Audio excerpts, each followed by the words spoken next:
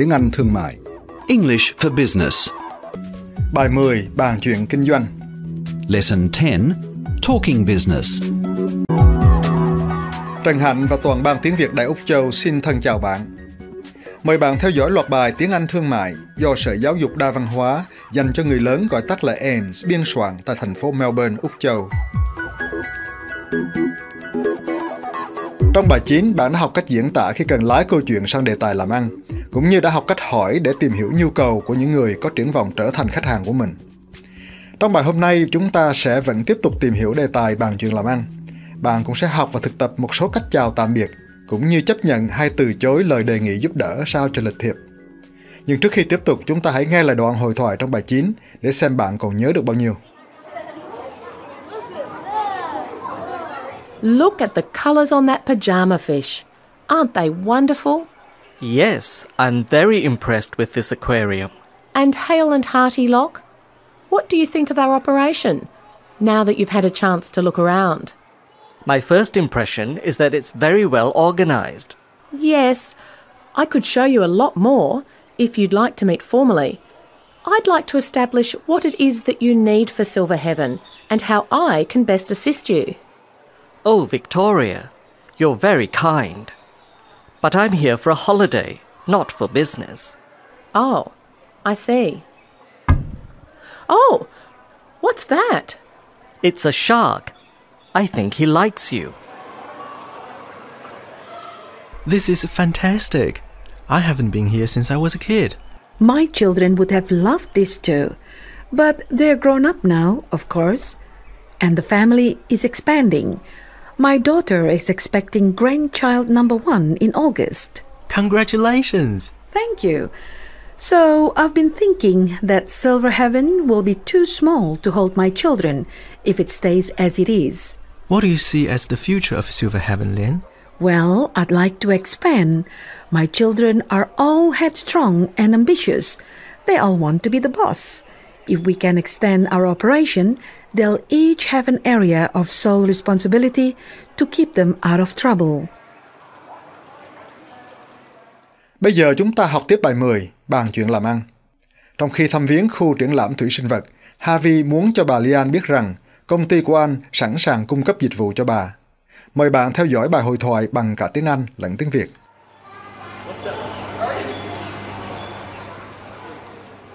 Lynn, I know your time in Sydney is limited, so I hope you don't mind me raising this. Bà Lian này, tôi biết rằng ông bà chỉ lưu lại Sydney trong một thời gian ngắn. Vì vậy, tôi hy vọng bà sẽ không phiền nếu tôi đề cập vấn đề này. Silver Heaven's reputation is remarkable for an estate that distributes only locally. At the moment, it's only travelers who have the opportunity to try your tea. Silver Heaven rất nổi tiếng, dù sản phẩm của công ty chỉ được phân phối trên thị trường nội địa.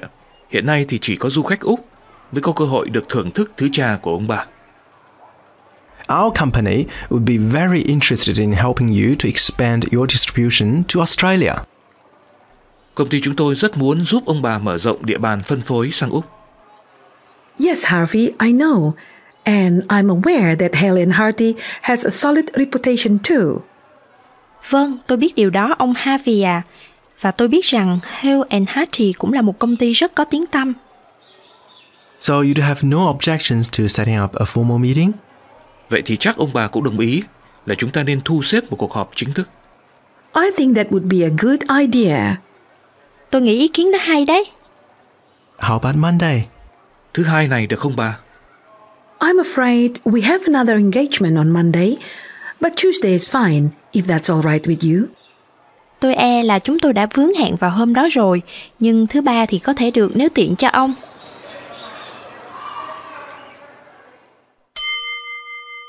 Xin bạn để ý xem Harvey nói ra làm sao khi anh ta nêu vấn đề làm ăn với Lian.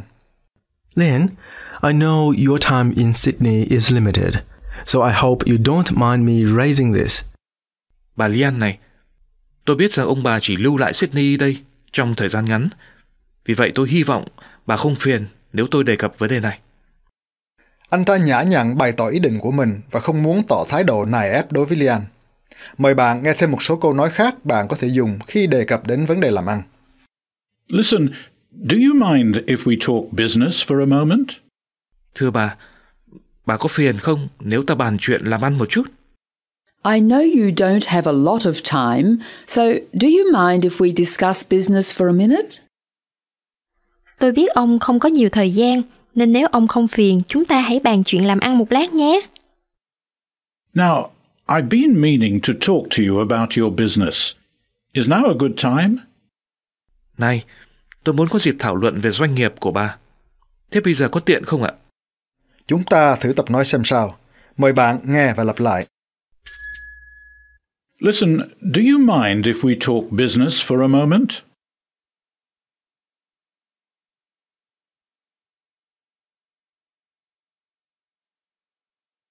I know you don't have a lot of time.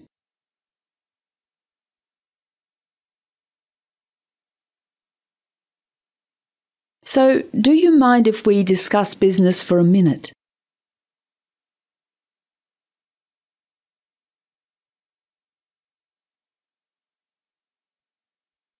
Now, I've been meaning to talk to you about your business.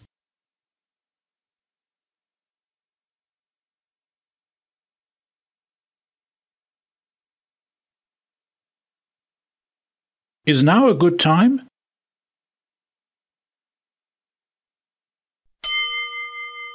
Bây giờ chúng ta để ý xem Harvey nói như thế nào khi anh ta bày tỏ nguyện vọng và đề nghị xúc tiến một cuộc họp chính thức hơn. Our company would be very interested in helping you to expand your distribution to Australia. Công ty chúng tôi rất muốn giúp ông bà mở rộng địa bàn phân phối sang Úc. Yes, Harvey, I know. And I'm aware that Helen Hardy has a solid reputation too. Vâng, tôi biết điều đó Harvey à. Và tôi biết rằng Hale and Hardy cũng là một công ty rất có tiếng tăm. So you do have no objections to setting up a formal meeting? Vậy thì chắc ông bà cũng đồng ý để chúng ta nên thu xếp một cuộc họp chính thức. Xin lưu ý, trong cách bày tỏ nguyện vọng của mình, Harvey đã nhấn mạnh đến những gì mà công ty của anh có thể giúp Lian. Hãy tập nói những câu như vậy và những câu khác có hình thức tương tự để bày tỏ ý nguyện và đưa ra đề nghị. Mời bạn nghe và lặp lại. Our company would be very interested in helping you expand.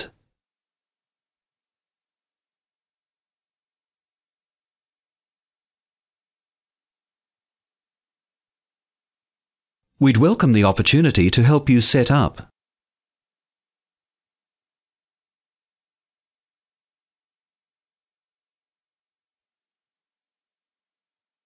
So you have no objections to a formal meeting?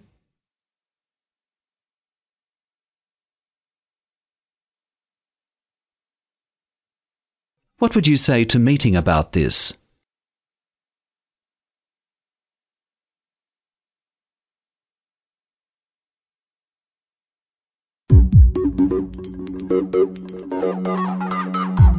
Quý bạn đang theo dõi chương trình Tiếng Anh Thương mại của Đài Úc Châu. Bài 10. Bàn chuyện kinh doanh. Lesson 10 Talking Business. Xin bạn lắng nghe những từ và mẫu câu mới trong khi tiếp tục theo dõi bài hội thoại bằng cả tiếng Anh lẫn tiếng Việt.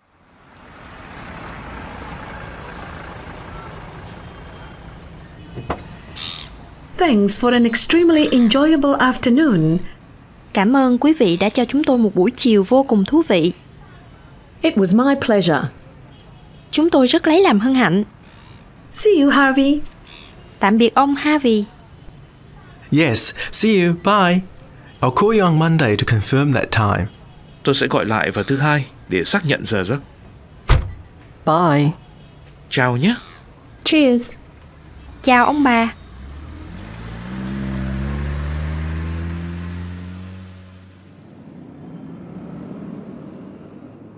It's no good, Harvey. I tried.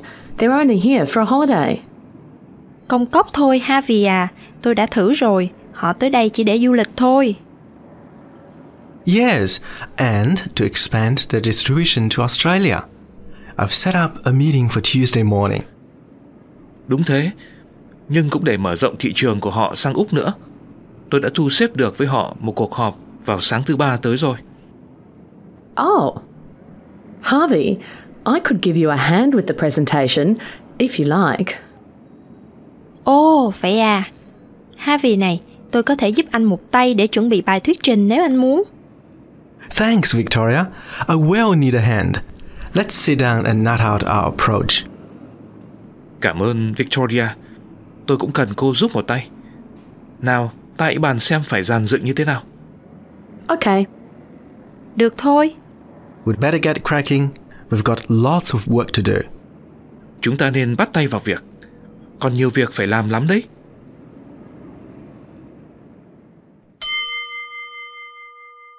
Chúng ta hãy nghe những câu chào tạm biệt sau đây.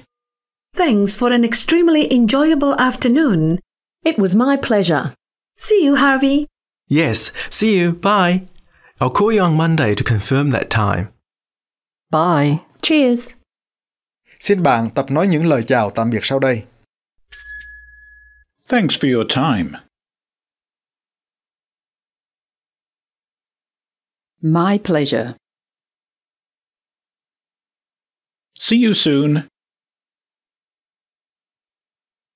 Yes, catch you later.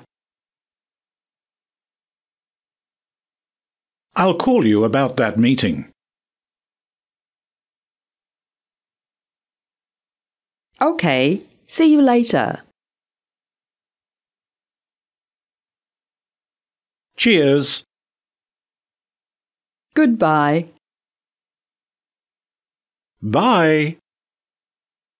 Bây giờ chúng ta hãy nghe cách Victoria diễn tả khi cô ngỏ lời giúp đỡ đồng nghiệp và cách Harvey chấp thuận đề nghị này. Họ dùng những thành ngữ thông dụng như sau. Give a hand. Giúp một tay. Sing out.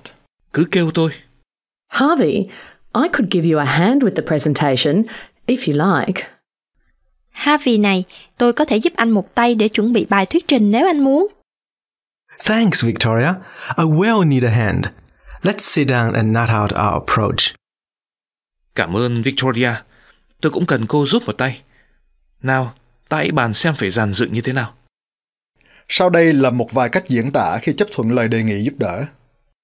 If you need help with the presentation, just sing out. Nếu anh cần tôi giúp làm bài thuyết trình thì cứ gọi nhé. Thanks. I think I'll take you up on that. Cảm ơn, tôi nghĩ là tôi sẽ chấp nhận đề nghị của anh. Fine. Vậy thì tốt. Chúng ta thử tập nói các mẫu câu sau đây. Mời bạn nghe và lặp lại. I could give you a hand if you like.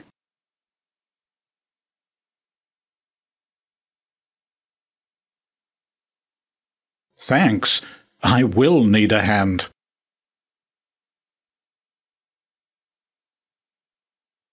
If you need help with the presentation, just sing out.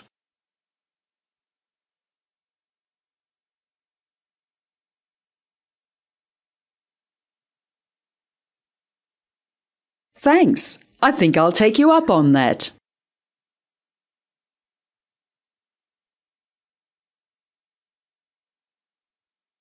Fine.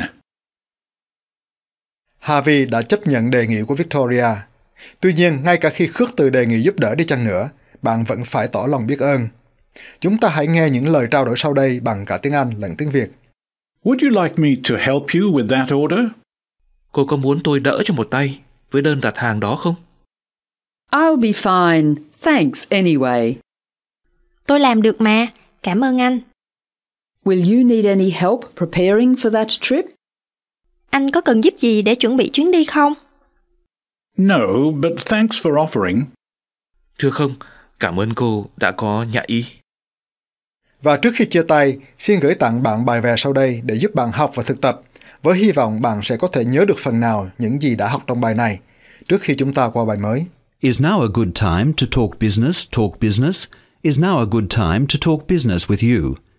Is now a good time to talk business, talk business? Is now a good time to talk business with you? Trần Hạnh mong gặp lại bạn trong bài 11 với chủ đề hội họp.